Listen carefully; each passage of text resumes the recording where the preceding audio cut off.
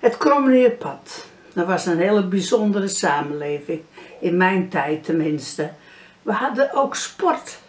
OKB namelijk. Een hele vereniging. En die heeft zijn eigen verhaal. Daar zat hij dan. In het oude schuurtje met een voetbalschoen in zijn handen.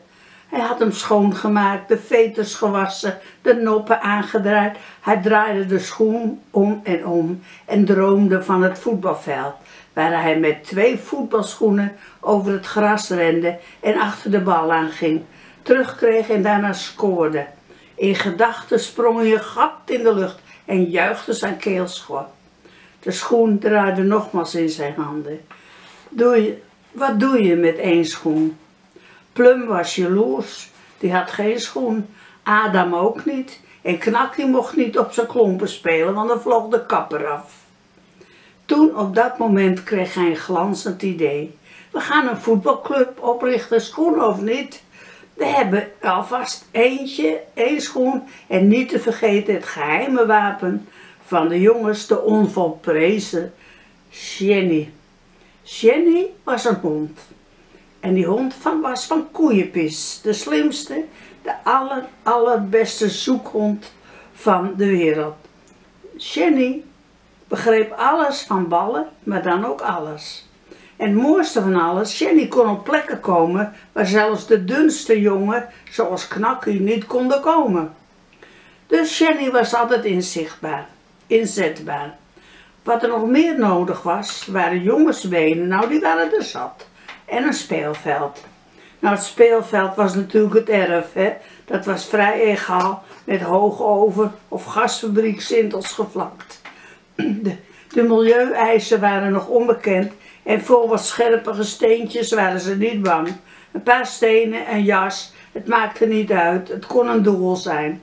Of je zet er twee meiden neer, die stonden toch altijd te kijken. Het eerste was een naam zoeken en dan die op de plek zetten, die kon je dan opeisen. Het werd wat heen en weer gepraat en een goede kijk op het bezit van de vereniging hebbende werd het op klompen begonnen, OKB. En zo werden de drie grote letters op het fietsenhok van de Roomse school gekalkt. Ziezo, ze konden beginnen.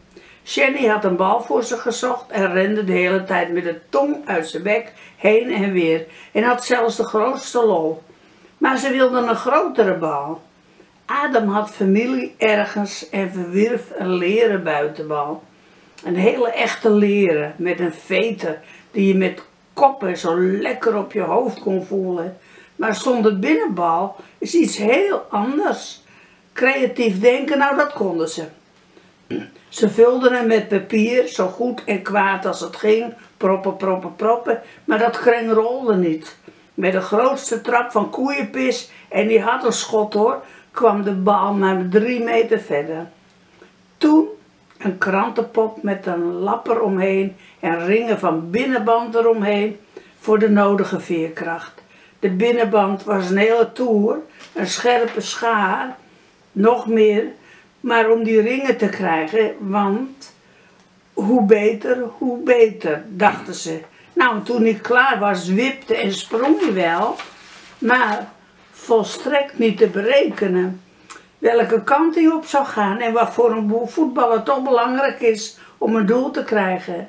Maar er werd getraind, Monkey en Adam in het midden, knakkie doelpunten maken. Alleen die meiden deden wel eens vervelend, die wilden dan kastien en begonnen te klieren op dat middenveld. Dat was wel eens vervelend, want ze mochten alleen maar bewonderend kijken en het liefst klappen bij een doelpunt. Ze speelden zelfs uit tegen de krommeniers. Nou, die hebben zo'n klop gehad dat ze nog steeds nederig groeten. Ze hadden speciaal het ballenjongens die op het dak van het fietsenhok mochten staan en de bal moesten teruggooien. Alleen als hij over het schot van de chocolafabriek ging, werd het een probleem. Dan moest je wachten tot de tijdstip dat de fabriek uitging. En dan kon je om het schut heen, over de sloot en naast het fort achter het schut komen. Maar als je het in de gaten kreeg, was het niet leuk. Bal weg en je werd opgesloten bij de papier, bij de portier en mocht je pas na een uur weer weg. gruwelverhalen hebben ze verteld. Wat er dan gebeurde, zal opschepperij voor de meiden zijn geweest.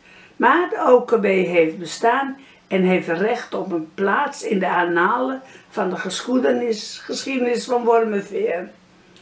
Adam is Jan Aafjes, Koeienpis is Gerrit Koeman en Knakkie is Jantje Frits. Dat was hem.